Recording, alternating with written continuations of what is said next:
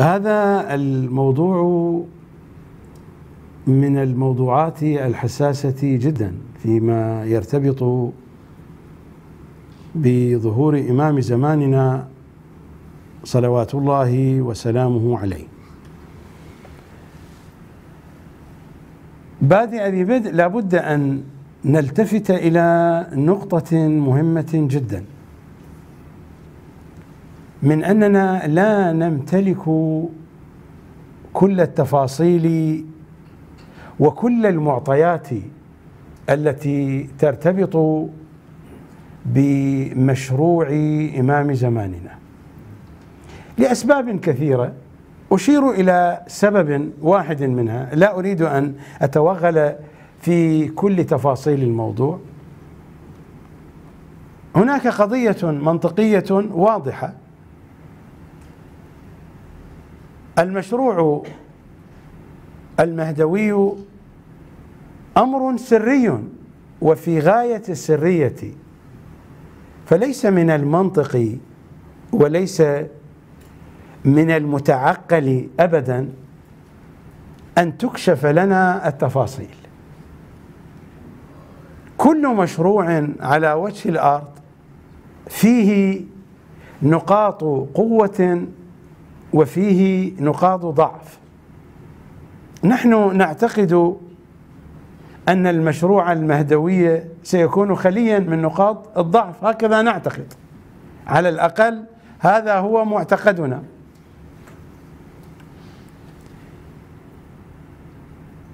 فلا نتوقع أن الأئمة سيكشفون لنا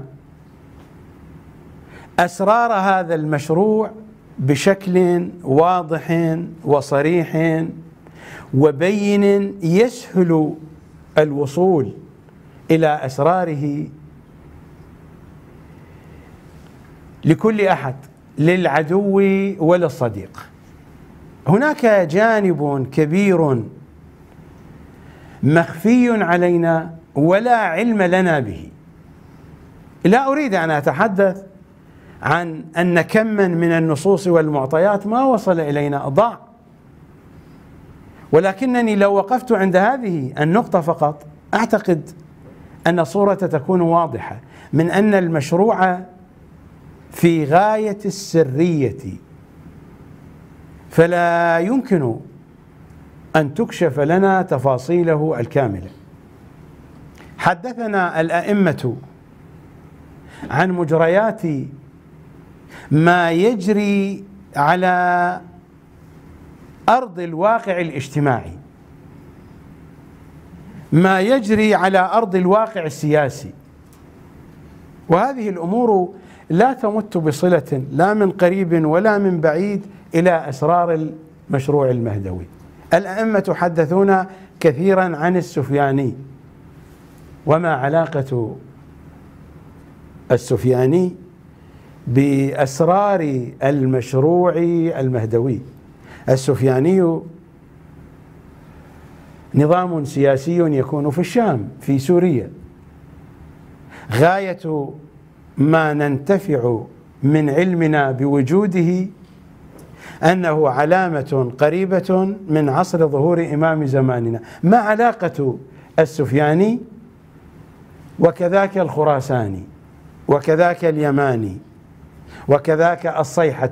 هذا الكم الهائل من النصوص التي تحدثت عن علائم الظهور عن وقائع كونية عن وصف للواقع الاجتماعي أو الواقع السياسي أو ما عليه الناس إن كان ذلك في الجو الشيعي في الجو السني في الجو العربي في الجو غير العربي.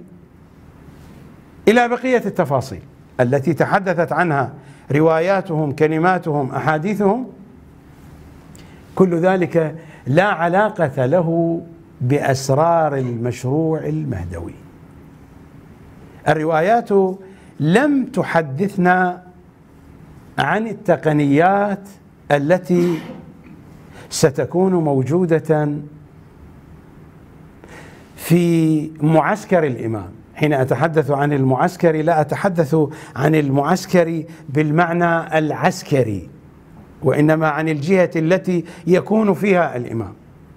لم تحدثنا الروايات عن التقنيات عن الأجهزة عن الأساليب عن المخططات لأن هذا من أسرار المشروع. فلا نملك تصورا دقيقا.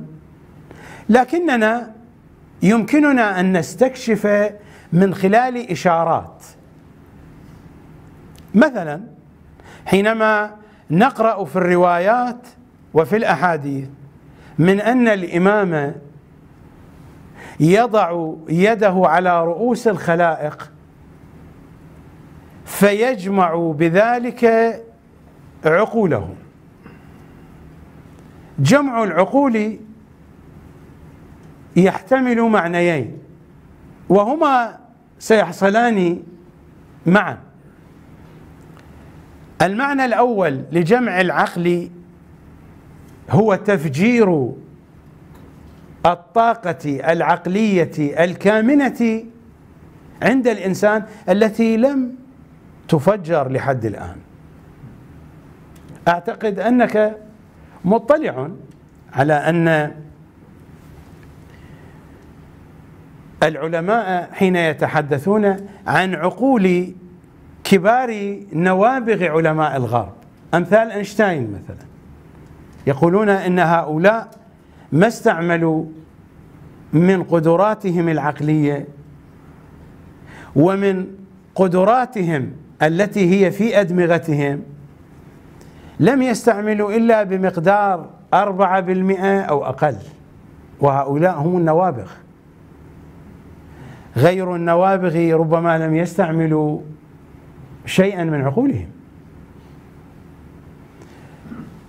ولذا فإن الإنسانية تبحث الآن عن الأساليب التي تستطيع أن تفجر هذه القدرات الكامنة في العقل البشري. الإمام يضع يده على رؤوس الخلائق. يجمع بذلك عقولهم. اولا هناك تفجير للطاقات الكامنة في هذه العقول. وثانيا هناك رقي يضاف إلى هذه العقول. قطعا حين تتفجر الطاقة الكامنة في العقول وحين تترقى العقول لابد من تغيير كبير سيطرأ على النظام اللغوي. لأن اللغة هي وسيلة للتفاهم. التفاهم ما هو؟ هو حركة الفهم فيما بيني وبينك. حركة الفهم فيما بين الناس. فحركة الفهم هذه تؤطر بهذه الأطر اللفظية وبهذه الأصوات التي تصدر من الناس والتي تسمى باللغات بالألسنة قولوا ما شئتم تنسجم مع المستوى العقلي الذي يكون عليه الإنسان. هذه الألفاظ هي صورة لإشارات ذهنية. أنا لا أستطيع أن أتلفظ من دون أن تكون هناك إشارات في ذهني. هناك إشارات ذهنية تتحول عبر الجهاز الصوتي إلى أصوات إلى ألفاظ إلى كلمات. هذه الإشارات الذهنية التي تكون في ذهني تختلف عن الإشارات الذهنية التي تكون في ذهن غيري. فكل ذهن وكل عقل بحسبه بحسب مستوى إدراكه وبحسب مستوى المعلومات المختزنة فيه تصدر منه تلك الإشارات. ولذا تختلف التعابير من شخص إلى آخر. لماذا تختلف التعابير من شخص إلى آخر؟ لما يتحدث شخص ويقال لهذا الشخص من أنه بليغ فصيح. هذه البلاغة والفصاحة إذا أردنا أن نبحث عن جذورها ليست في اللسان وليست في الشفتين وليست في الحبال الصوتية التي هي في الحنجرة. هذه الفصاحة والبلاغة هي ترجمة لإشارات ذهنية. الفصاحة والبلاغة أصلا في عقله. والعقل هو الذي يعطي إشارات ذهنية تترجم عبر الجهاز الصوتي. أنا هنا لا أريد أن أتحدث عن تشريح المنظومة الصوتية أو اللغوية عند الإنسان وإنما أريد أن أقرب الفكرة من أن العقول حين تترقى فلا بد للنظام اللغوي أن يترقى. وحينما يترقى النظام اللغوي وتترقى طريقة التفكير لا بد من وجود بيئة وجو ومساحة تكون فيها الأشياء تتناسب مع هذا التطور اللغوي. وإلا لا يمكن أن نتصور أن الإمام المعصوم يطور عقولنا ثم يطور النظام اللغوي. والروايات تحدثنا عن أن كل العلم الذي خرج على وجه الأرض من زمان آدم إلى يوم الظهور هكذا يعبر عنه بشكل رمزي عبارة عن حرفين. ومن أن الإمام حين ظهوره سيخرج خمسة وعشرين من الحروف. وقطعا نحن حين نتحدث عن الحروف إننا لا نتحدث عن الحروف بالمعنى اللغوي أو الكتابي. المقصود من الحرف الجهة. وحينما يقال من أن الإمام المعصوم سيخرج خمسا وعشرين من الحروف لربما بعض هذه الحروف هو أوسع من بقية كل الحروف. لا يوجد هناك تساوي. الحرف لغة يعني الجهة. فإنني أقف مثلا على حرف هذه الطاولة. هذا هو حرف الطاولة يعني نهاية الطاولة.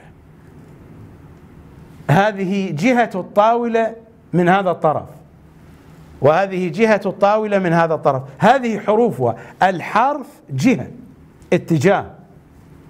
فإن الإمام يخرج خمسة وعشرين من الحروف يعني خمسة وعشرين من الاتجاهات العلمية المختلفة. ولربما في كل حرف من هذه الحروف أصناف من المعارف والعلوم التي لا نتخيلها الآن.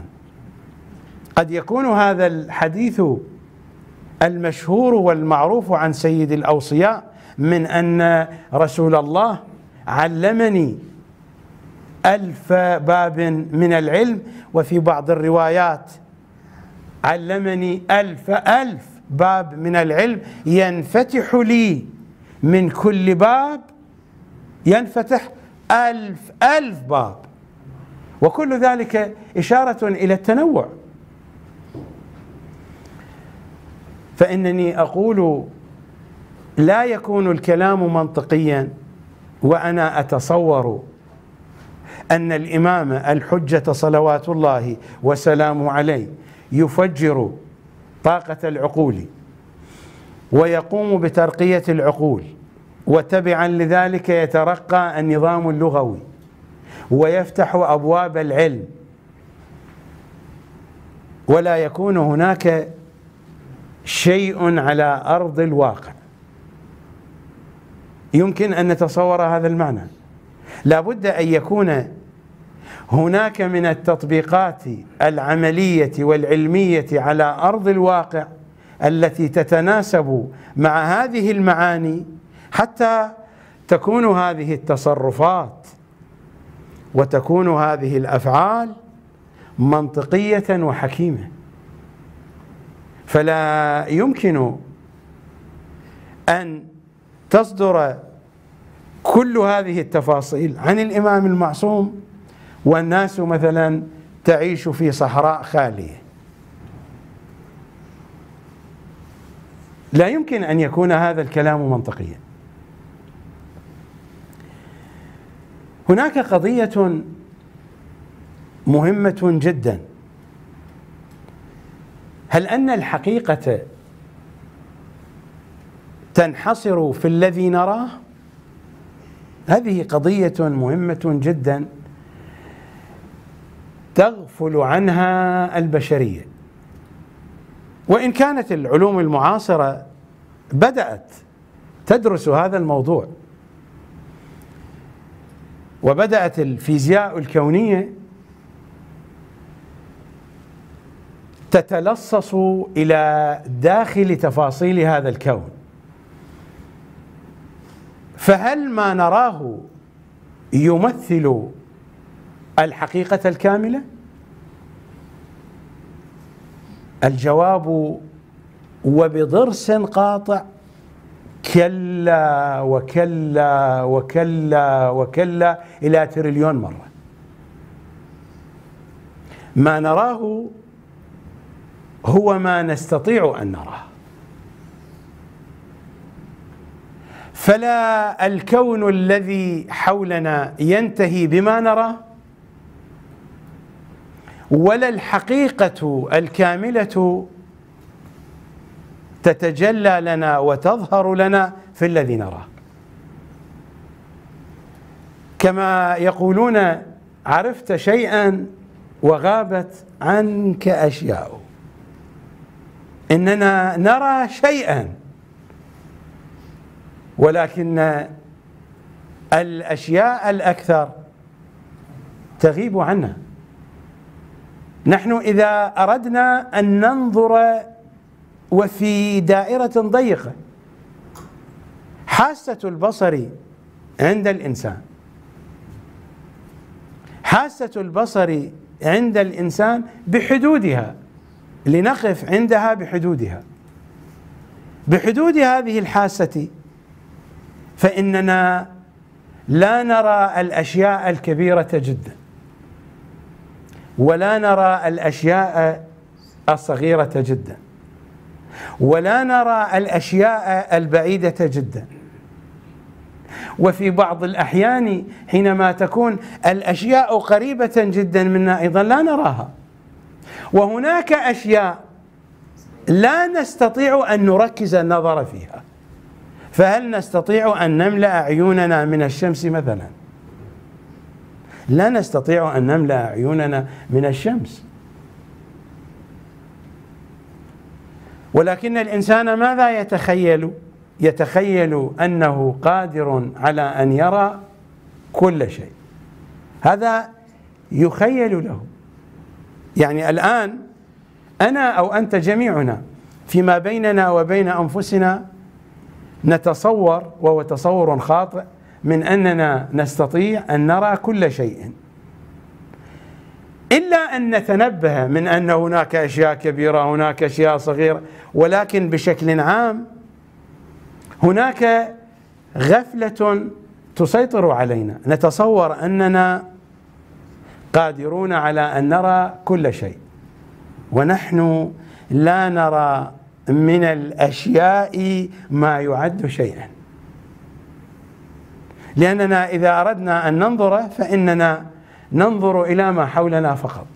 الآن خارج هذا الجدار لا نرى. إذا سرنا في الشارع نرى مقدارا معينا من الشارع. وهكذا. حتى إذا صعدنا على مكان عال صعدنا على سطح بناية عالية لا نرى شيئا. فما نراه لا يمثل الحقيقة وما ندركه لا يمثل الحقيقة. كلمة لأمير المؤمنين صلوات الله وسلامه عليه يقول فإن أكثر الحق فيما تنكرون. فإن أكثر الحق فيما تنكرون. وإن كانت هذه الكلمة بحاجة إلى شرح إلى بيان أنا ذكرتها استطرادا لا أريد أن أتوغل في تفاصيلها. حين نقرأ مثلا على سبيل المثال حين نقرأ من أن الإمام الحجة صلوات الله وسلامه عليه حين يقبل إلى العراق فإنه سينزل في الكوفة عند مسجد السهلة في سبع قباب من النور بيضاء. لا يعلم هو في أي قبة من هذه القباب. هذه قباب تنزل من السماء. هذه تعابير كانت تتناسب مع ذلك العصر. بالضبط ما هي الصورة الحقيقية لهذه القباب؟ نحن لا نملك التفاصيل. إذا أردنا أن نبحث وراء هذه الجزئيات يمكن أن نجد مجموعة من هذه الجزئيات في الروايات والأحاديث. إذا ما جمعناها مع المقدمات التي أشرت إليها كل هذا يحدثنا عن تقنيات وعن تفاصيل ستكون على أرض الواقع. نحن لا نملك التفاصيل الكاملة عنها. لكن قطعا قطعا لا بد أن تكون هناك تقنيات تتفوق على التقنيات التي تكون في عصر ظهوره الشريف وإلا لن يكون الكلام منطقيا ابدا. لا بد أن تكون هناك تقنيات تكون مذهلة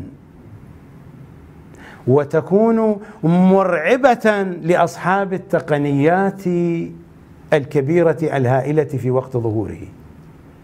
فإن الأحاديث تخبرنا من أن الرعب يسير أمامه مسيرة ثلاثة أشهر.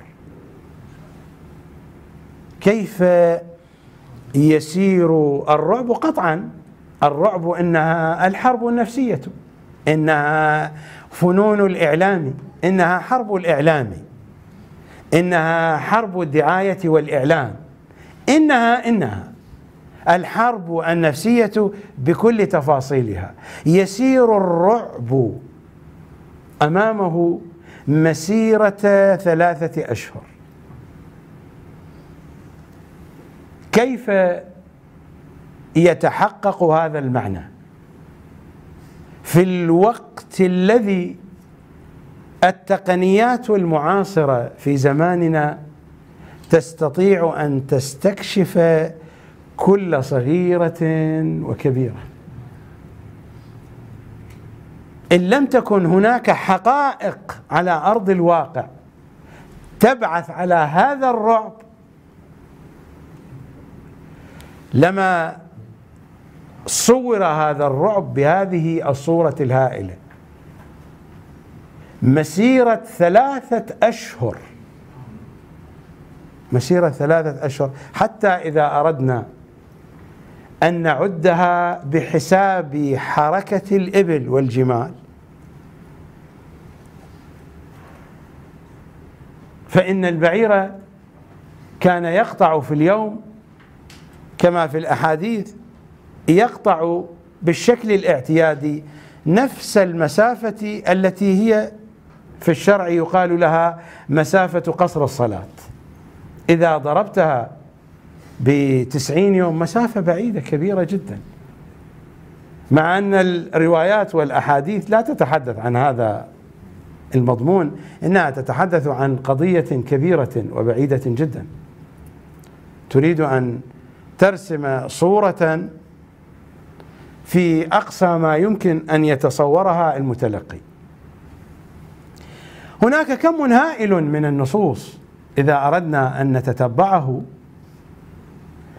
يعطينا هذه الفكرة يعطينا هذه النتيجة يعطينا هذه الصورة من أن التقنيات التي ستكون موجودة في عصر الظهور ستكون أقوى بكثير جدا من التقنيات التي يمتلكها الآخرون.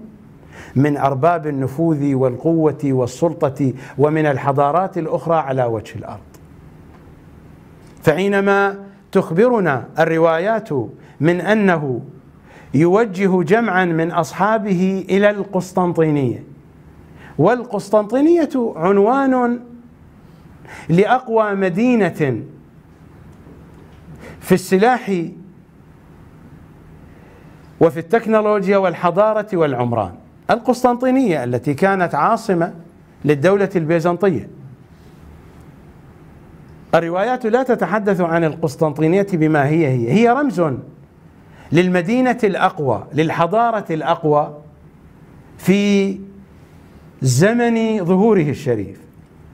الروايات تقول إنه يبعث بعثا من أصحابه جمعا من أصحابه فحينما يقاربونها وهي مدينة واقعة على البحر يأتونها سيرا على الماء وأهل المدينة ينظرون إليهم من بعيد فيرون جمعا من العسكر جمعا من الناس يسيرون بشكل اعتيادي وسريع جدا على وجه الماء وحين يقتربون من المدينة فإن حصونها ستتساقط.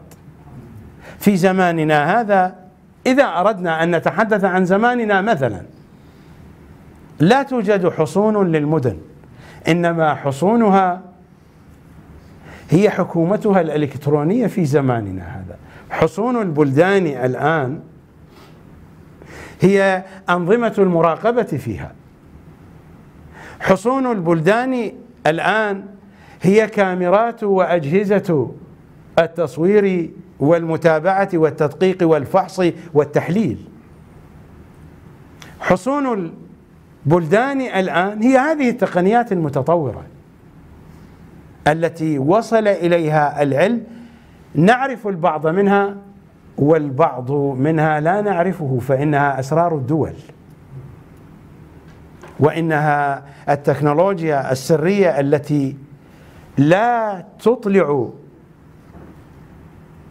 الدول الدول الأخرى والشعوب الأخرى على تفاصيل أسرارها.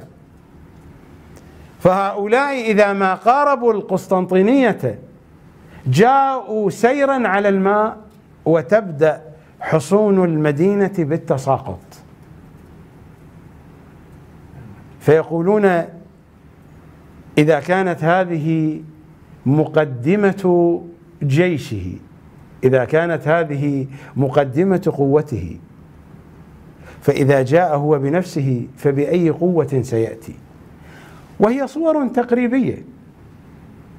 فمثل هذه الصورة إنها لا تحدثنا عن أسلحة كانت في زمان الأئمة ولا عن أسلحة موجودة في يومنا هذا.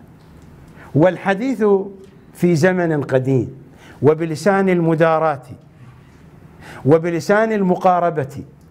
هذا يكشف عن أن أشياء كثيرة لا علم لنا بها ولم تصل إلينا تفاصيلها.